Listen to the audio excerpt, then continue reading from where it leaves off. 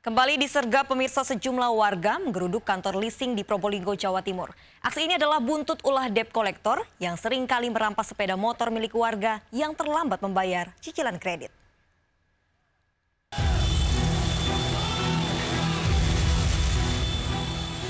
Sejumlah warga beramai-ramai mendatangi kantor leasing sumber lele Kerasaan Probolinggo memprotes sikap para penagih tunggakan kredit atau debt kolektor.